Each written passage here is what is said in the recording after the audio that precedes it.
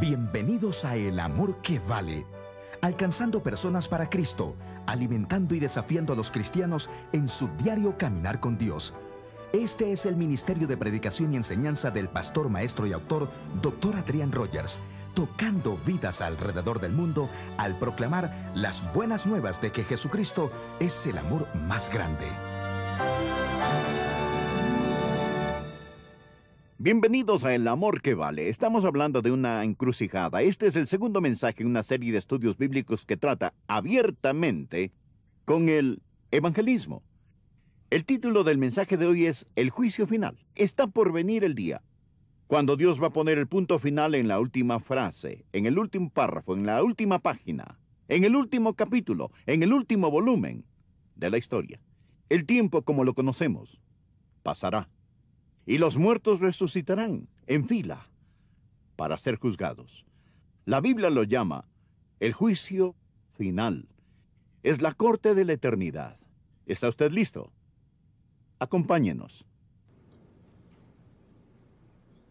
Está por venir, damas y caballeros, un juicio. Está por venir el día cuando todo lo que los hombres han soñado, han tramado, y han vendido sus almas para alcanzar. Se volverá herrumbre, polvo, moho y corrupción. Vendrá el momento cuando Dios pondrá el punto final en la última frase, en el último párrafo, en la última página, en el último capítulo, en el último libro de la historia, como la conocemos. El tiempo tal y como lo conocemos llegará a su conclusión. El milenio se habrá acabado y los muertos resucitarán para ser juzgados, uno por uno, para estar de pie ante el Señor Jesucristo y comparecer ante el juicio final. Apocalipsis capítulo 20. Por favor, búsquenlo en su Biblia. Empezaremos a leer en el versículo 11 y vamos a permanecer principalmente en este pasaje, citaré otros pasajes, mas puede mantener su Biblia abierta en Apocalipsis capítulo 20, desde el versículo 11 hasta el 15. Esta es la visión que Dios dio al apóstol Juan del juicio final. Y esto es lo que él vio al mirar el futuro.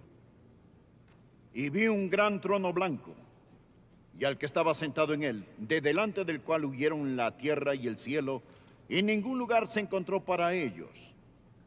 Y vi a los muertos, grandes y pequeños, de pie ante Dios, y los libros fueron abiertos.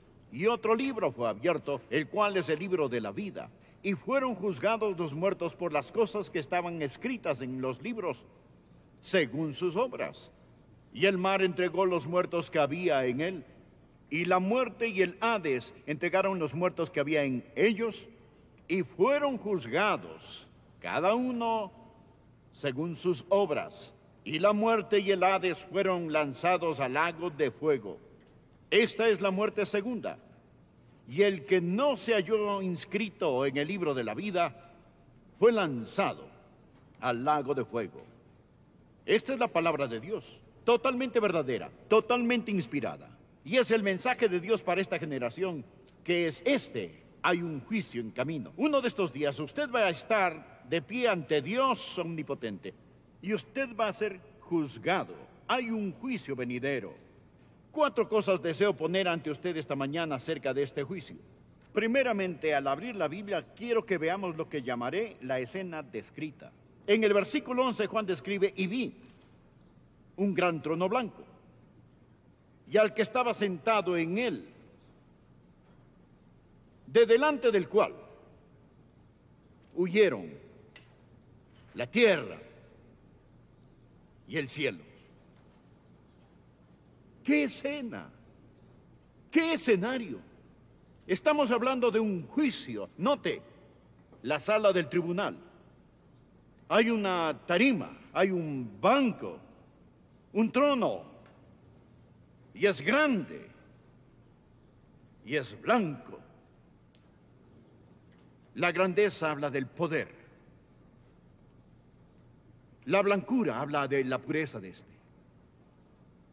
La palabra trono habla del propósito de este porque hay un soberano que está sentado en el gran trono blanco. Y espero que usted nunca tenga que estar allí. Jesucristo mismo será el juez. No su opinión de sí, ni algún amigo, ni su madre, ni su padre. Mi madre nunca podría encontrar alguna falta en mí. Ella sonreía con lo que yo hacía. Pero mi madre no será el juez si fuera a estar allí.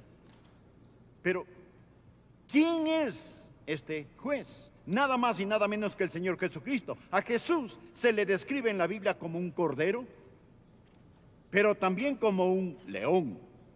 Jesús en la Biblia es juez y salvador. Usted va a enfrentarlo como un cordero o león.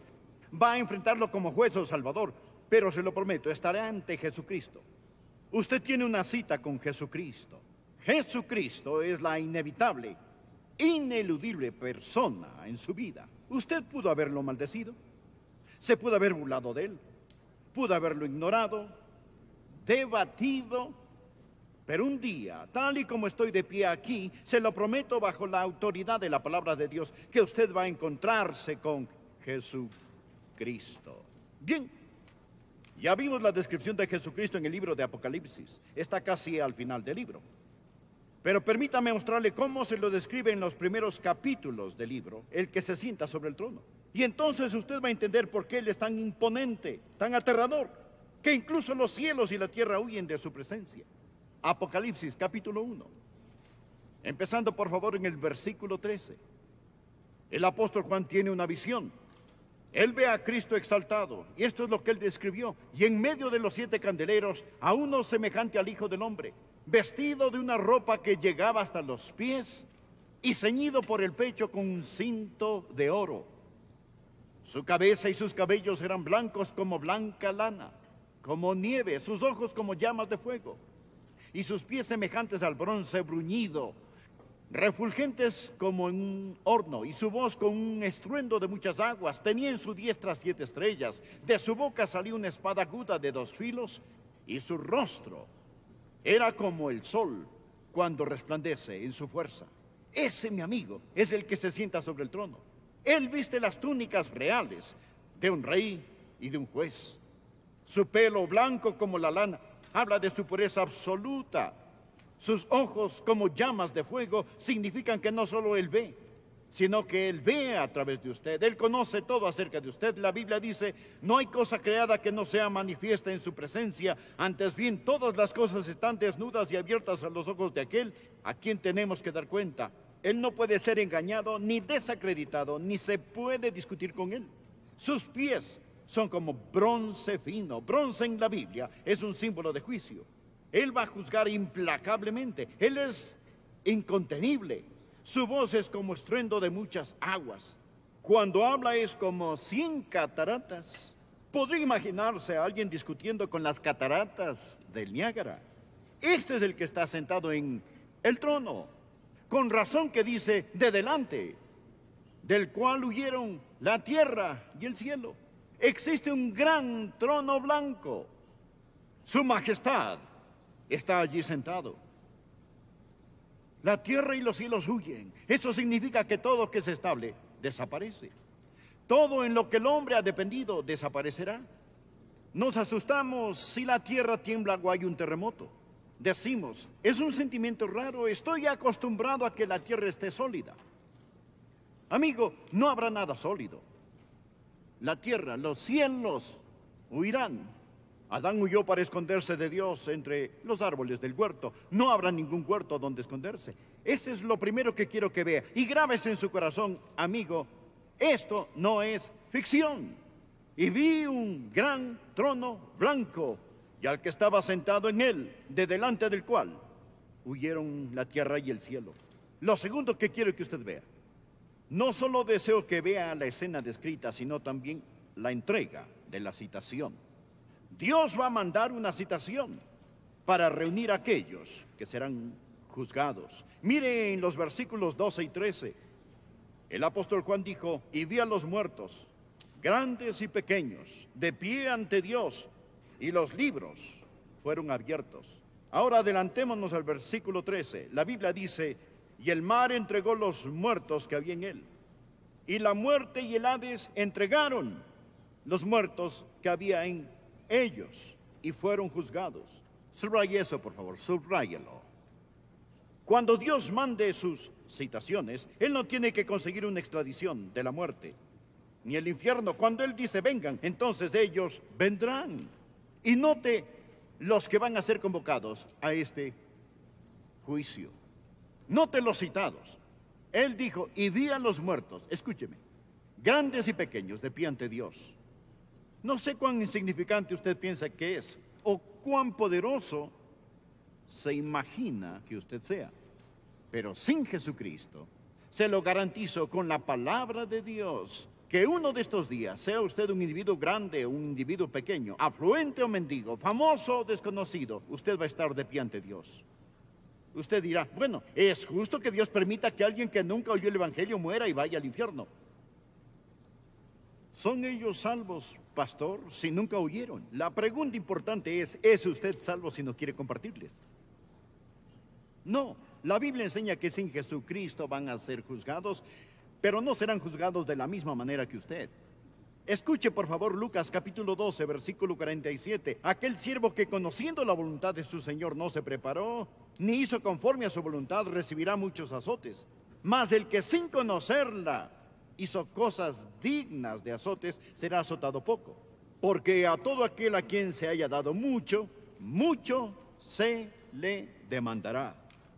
Usted está escuchando la palabra de Dios. Ha escuchado que Jesús salva. Usted escucha a un pastor predicar un mensaje por el cual él ha orado, lo ha empapado en oración. Usted oirá a alguien con lágrimas en los ojos rogarle, implorarle, venga Jesús. Si aquellos que nunca escucharon van a comparecer y ser juzgados, ¿qué va a pasar con usted? ¿Qué le va a pasar a usted?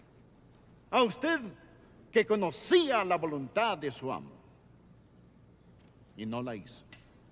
Y vi a los muertos grandes y pequeños de pie ante Dios Note cuándo da la citación y los lugares de los que serán llamados. Él continúa y dice, y la muerte y el Hades entregarán los muertos que había en ellos. La muerte tiene el cuerpo.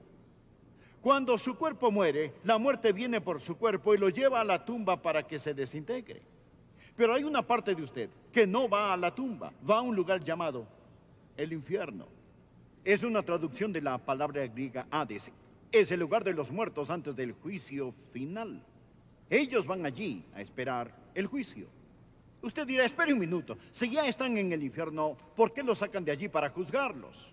Ese no es el lago de fuego, es el Hades. Ellos van a ser lanzados al lago de fuego. Se preguntará cuál es la diferencia. Suponga que alguien comete un crimen y es acusado por el gran jurado. Él es tan peligroso que el juez no permite fianza.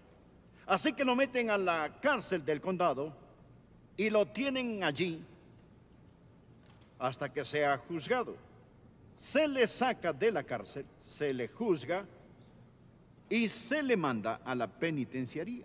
El lago de fuego es la penitenciaría eterna, pero por ahora la muerte tiene el cuerpo y el infierno tiene el alma. Ahí es donde van las personas que han muerto sin Cristo. Su cuerpo está en la tumba, su alma detenida en el infierno, esperando el juicio final. Bueno, ¿y por qué sacarlos y juzgarlos de nuevo? Porque este no es el final, como vamos a ver. Ahora pasemos a la tercera cosa. No solo piense en la entrega de la citación, sino también en los secretos expuestos. Los secretos expuestos. Por favor, mire Apocalipsis capítulo 20, versículos 13 de nuevo. Y vi a los muertos grandes y pequeños de pie ante Dios. Y los libros fueron abiertos.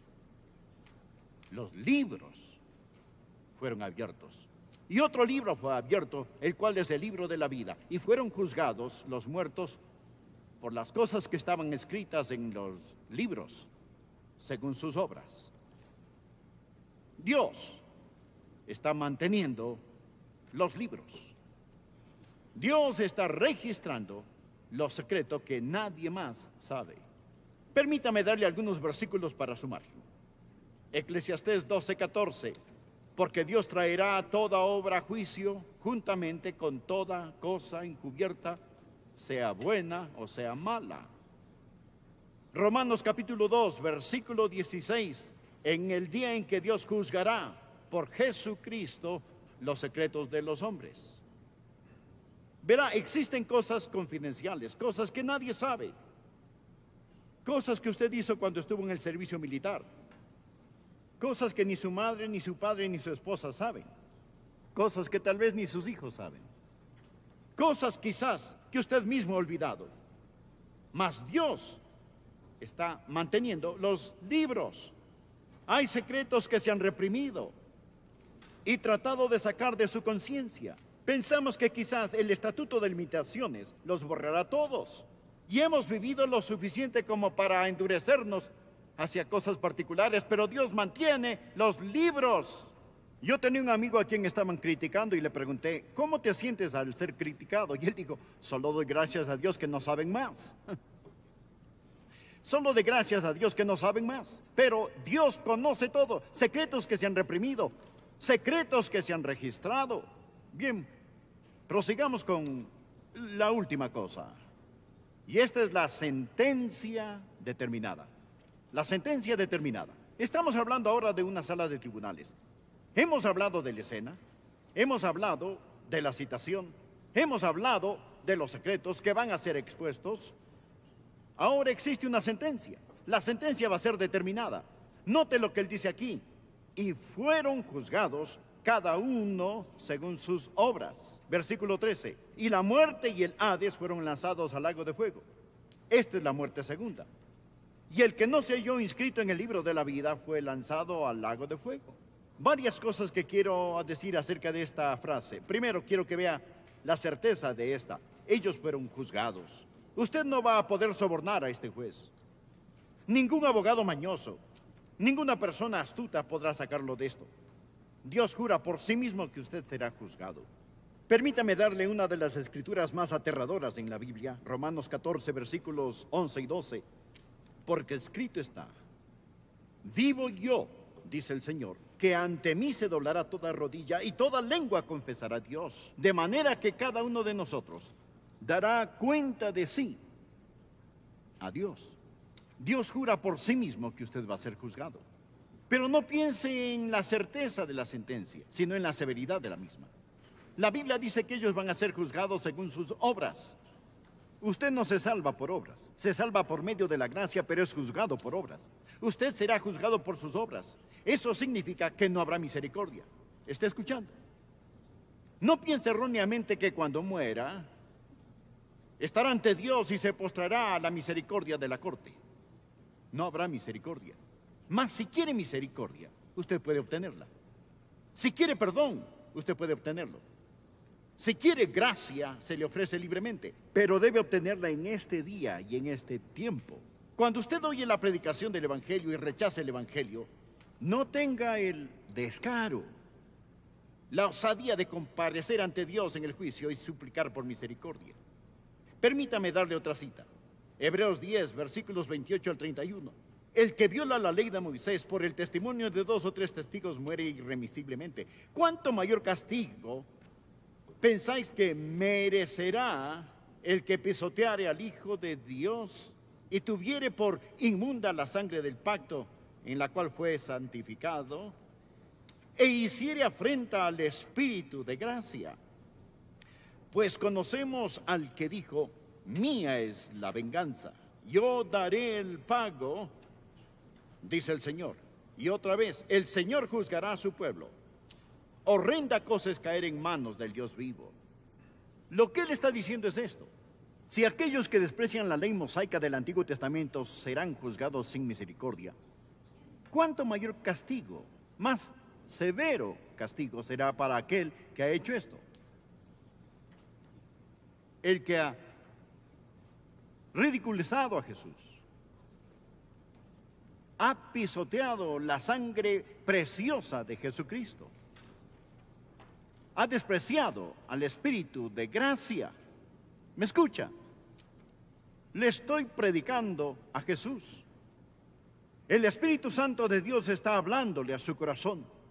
Y usted, después de escuchar este mensaje, estará o bajo la sangre, habiendo recibido el perdón de sus pecados, o sobre la sangre, pisoteando la sangre de Jesús bajo sus pies. Cuando usted hace eso, si usted dice, yo no quiero a Dios, no quiero a Cristo, no quiero ser salvo, no al Espíritu Santo. Usted desprecia al Espíritu de gracia. Y al llegar al juicio, ahí sí suplicará por misericordia, no le servirá de nada. La Biblia dice, está establecido para los hombres que mueran una sola vez y después de esto el juicio. Allí no habla de misericordia, usted va a ser juzgado según sus obras. Todo juicio, todo juicio tiene tres partes. Primero se presenta la evidencia. Los libros se abren. ¿Cuál es la evidencia? Sus obras. Toda mentira, toda maldición, todo robo, toda cana que le sacó a su madre, toda arruga que puso en la frente de su papá, toda, toda infidelidad. Luego los pensamientos.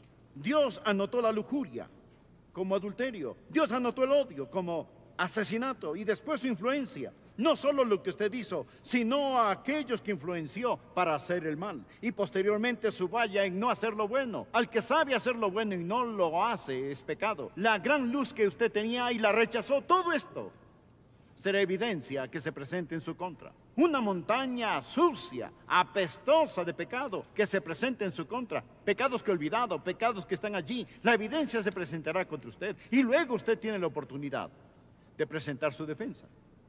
Ahora piénselo. Usted presenta su defensa. ¿Cuál será su defensa? Suponga que la hora del juicio ha llegado. Y usted comparece ante el Señor. ¿Cuál será su defensa? Es decir, allí está usted ante Jesucristo. Usted lo ha ignorado, lo ha maldecido, lo ha abandonado, le ha dado la espalda a Él. ¿Qué le dirá? Oh, yo sé lo que usted dirá. Espera un minuto, Señor. Espera un minuto, Señor. Yo no sabía cuál iglesia unirme, habían tantas iglesias, bautista, presbiteriana, la iglesia de Cristo episcopal, bautistas independientes. No sabía cuál iglesia hacerme miembro. Yo no dije que creyeras en la iglesia. Yo te dije, cree en el Señor Jesucristo y serás salvo. Amigo, ¿me está escuchando? Los fuegos del juicio de Dios cayeron sobre Jesús en el Calvario. Y ahí es donde es mejor que usted esté. Ahí es donde es mejor que usted esté, porque el fuego no puede pasar por donde el fuego ya pasó. Él es quien murió por usted. Él le ama. Él le invita y quiere que usted se entregue a Él.